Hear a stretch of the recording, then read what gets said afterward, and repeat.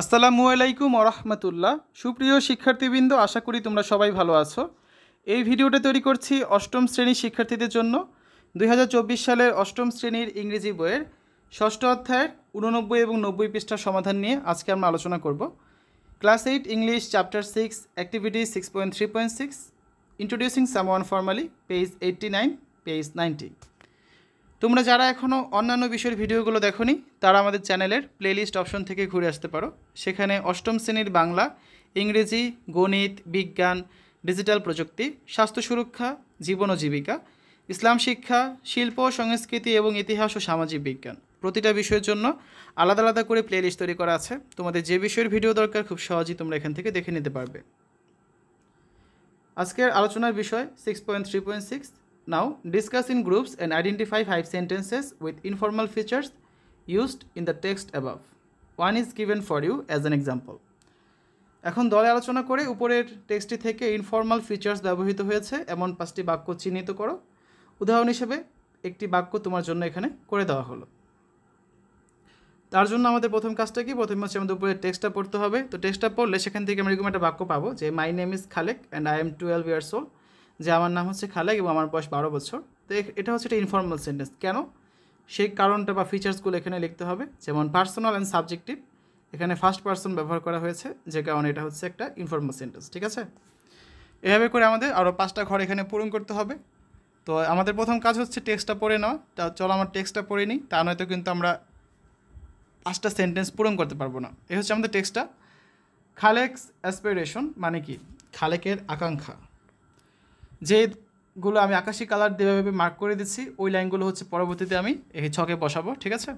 Hi my name is Khalek I am twelve years old এই যে, আমার নাম হচ্ছে খালেক এবং আমার বয়স বারো বছর। I live in Islam near Kamalapur railway station with my mother two little brothers and sister আমি আমার মা, ছোট দুই ভাই এবং আমার বোনের সাথে কমলাপুর রেলওয়ে স্টেশনের কাছে একটা বস্তিতে থাকি। এই যে লাইনটা I have not seen my father এটা আমি একটু পর ছকে ইউজ করব। মানে কি আমি আমার বাবাকে দেখিনি। My mother is everything to me আমার মাই হচ্ছে আমার কাছে সব কিছু ঠিক আছে? তো এভাবে করে হচ্ছে আমার বাকি প্যারাগুলো এখন দেখি। Not sure who insisted on me but I have been working to earn some money for the last few months আমার ঠিক মনে নেই কে আমাকে জোর করেছে, আমি এ ব্যাপারে নিশ্চিত নই, তবে আমি গত কয়েক মাস ধরে অর্থ উপার্জনের জন্য কাজ করেছি। I think I wanted to help my mother আমি মনে করি আমি আমার মাকে সাহায্য করতে চেয়েছিলাম। First I try to work as a porter in a market near Kamalapur railway station প্রথমে আমি কমলাপুর রেলওয়ে স্টেশনের পাশের মার্কেটে বা বাজারে হচ্ছে পোর্টার বা কুলি হিসাবে কাজ করার চেষ্টা করেছিলাম। The work was too hard for me তবে এই কাজটি করতে আমার জন্য খুবই কষ্টদায়ক ছিল বা খুবই কঠিন ছিল। Then I started working as a helper in a motor garage তারপর হচ্ছে আমি একটা মোটর গ্যারেজে সহকারী হিসাবে কাজ করা শুরু করলাম। হেল্পার মানে কি? সহকারী। It was too risky for me এটা আমার জন্য খুবই বিপজ্জনক ছিল বা ঝুঁকিপূর্ণ ছিল। অ্যান্ড ওয়ান্স এবং কোনো এক সময় বা কোনো একদিন I cut my pound with a sharp nail আমি আমার হাতের তালু হচ্ছে একটা ধারালো পেরেক দিয়ে কেটে ফেলেছিলাম। মাই পাউন্ড মানে কি? আমার হাতের তালু আর শার্প নীল মানে হচ্ছে কি? ধারালো পেরেক। So my mother told me to leave that job তাই আমার মা আমাকে সেই চাকরিটা বা সেই কাজটা ছেড়ে দিতে বলেছিলেন। Now I work in a restaurant আমি এখন একটি রেস্টুরেন্টে কাজ করি। I begin my work at six M A দেখো, এই লাইনটা আমরা মার্ক করেছি, একটু পরে আমরা একটা ছকে বসাবো। যে আমি হচ্ছে সকাল ছয়টায় আমার কাজ শুরু করি। সামটাইমস আই ওয়াশ ডিশেস মাঝে মাঝে আমি ওয়াশ ডিশে থালা বাসন ধুই। সামটাইমস আই ওয়াইপ টেবিলস মাঝে মাঝে আমি টেবিল মুছি। অ্যান্ড সোয়েপ ফ্লোরস এবং মেঝে ঝাড়ু দিই। And sometimes I serve water মাঝে মাঝে আমি পানি সার্ভ করি বা হচ্ছে পানি পরিবেশন করি।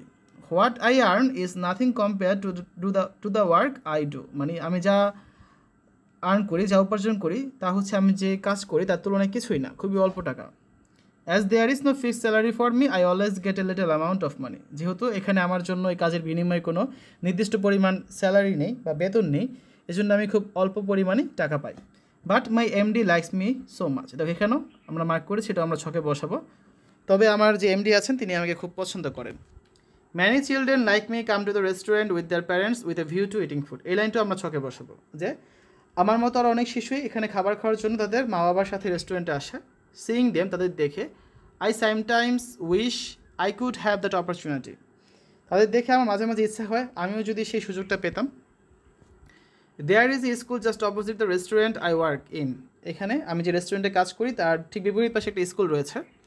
I see the students come and go studying playing and having fun with each other আমি দেখি যে শিক্ষার্থীরা বা ছাত্রছাত্রীরা এখানে আসে, যায়, তারা হচ্ছে পড়াশোনা করে, খেলাধুলা করে এবং একে অন্যের সাথে মজা করে। এগুলো সবই আমি দেখি। I feel sad that I don't have that opportunity আমি খুবই দুঃখিত বোধ করি বা আমার খুবই খারাপ লাগে যে আমার হচ্ছে ওই সুযোগটা নেই। Yesterday I was talking to my mom about going to school গতকাল আমি আমার মায়ের সাথে স্কুলে যাওয়া নিয়ে কথা বলছিলাম। এরপর লাইনটা দেখো মার্ক করেছি আমি। One day we all me my my and my brothers and sister one uh go to school যে একদিন আমরা সবাই, আমি এবং আমার ভাই ও বোন মিলে স্কুলে যেতে চাই। Someday we will go surely কোনো একদিন আমরা নিশ্চয়ই যাব। এই টেস্টটা আমরা পড়লাম। এখন যে শব্দগুলো আমি আকাশি কালার দিয়ে এখানে মার্ক করেছিলাম, যে সেন্টেন্সগুলো সেগুলো আমরা এখন ছকে বসাবো এবং এটা কেন ইনফর্মাল সেন্টেন্স সেই কারণগুলো বা ফিচারগুলো দেখব, ঠিক আছে? তো আসলে দেখি। প্রথমটা তো করে দেওয়াই ছিল। প্রথমটা কী ছিল? যে my name is Khalek and I am twelve years old আমার নাম খালেক এবং আমার বয়স হচ্ছে বারো বছর। এটা ইনফর্মাল কেন? কারণ এখানে হচ্ছে পার্সোনাল অ্যান্ড সাবজেক্টিভ এটা। এখানে হচ্ছে যেমন ফার্স্ট পার্সন ব্যবহার করা হয়েছে। তারপর দেখো, দুই নম্বরে কি? I have not seen my father আমি আমার বাবাকে দেখিনি। এখানে কন্ট্রাকশন ইউজ করা হয়েছে। কন্ট্রাকশন কি? হ্যাভ নট তারপর দেখো, তিন নম্বরে কি আছে? তিন নম্বরে হচ্ছে I begin my work at six AM আমি সকাল ছয়টায় আমার কাজ শুরু করি। খুবই ছোট একটা সেন্টেন্স তো ফর্মাল সেন্টেন্সগুলো সাধারণত একটু বড় হয়। এই জন্য আমরা কী বলতে পারি যে very short and simple sentence is used খুবই সাধারণ বা খুবই ছোট একটা বাক্য ছিল এটি।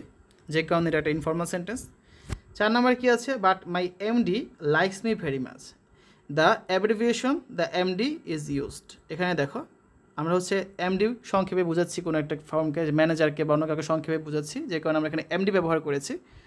তো এই কারণে এটা হচ্ছে একটা ইনফর্মাল সেন্টেন্স পাঁচ নাম্বারটা কী আছে? Many children like me come to the restaurant with এরপর স্পেস হবে একটা with their parents with a view to eating food মানে আমার মতো অনেক শিশুরাই তো বাবা মার সাথে রেস্টুরেন্টে আসে খাবার খাওয়ার জন্য।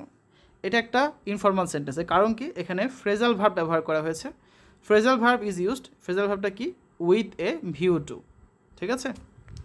এটা একটা ফ্রেজাল ভার্ব ছয় নম্বরে কী আছে? One day we all me and my brothers and sister one go to school যে একদিন আমি আমরা সবাই, আমি, আমার ভাইয়েরা এবং বোনের মিলে স্কুলে যেতে চাই, বা স্কুলে যাব। এখানে হচ্ছে কি, আমরা একটা শব্দ ব্যবহার করেছি, এটা কি? ওয়ানা এটা হচ্ছে একটা কজুয়াল ওয়ার্ড এই যে ওয়ানা শব্দটা ব্যবহার করেছি, এটা কজুয়াল ওয়ার্ড এই কারণে হচ্ছে এটা একটা ইনফর্মাল সেন্টেন্স ঠিক আছে? তো আমরা ছকটা পূরণ করে ফেললাম। এর পরবর্তী ক্লাসে আমরা six point three point seven নিয়ে আলোচনা করব। এখানে হচ্ছে একটা কাজ আছে, সেই কাজটা হচ্ছে আমরা পূরণ করব এবং ছক আছে ছকটা আমরা পূরণ করব নেক্সট ক্লাসে সকলকে দেখার জন্য আমন্ত্রণ জানাচ্ছি, ঠিক আছে? তো পরবর্তী ক্লাসে আমরা নব্বই, একানব্বই, বিশটা যে ছকটা আছে, এটা হচ্ছে তোমাদের সমাধান করে দেব। তো শিক্ষার্থীরা, এতক্ষণ তোমরা দেখলে class eight English chapter six introducing someone formally page number eighty nine and ninety activity six point three point six R listen six point three point six আশা করি তোমাদের কাছে ভিডিওটা ভালো লেগেছে। আজ এখানে বিদায় নিচ্ছি। আল্লাহ হাফেজ।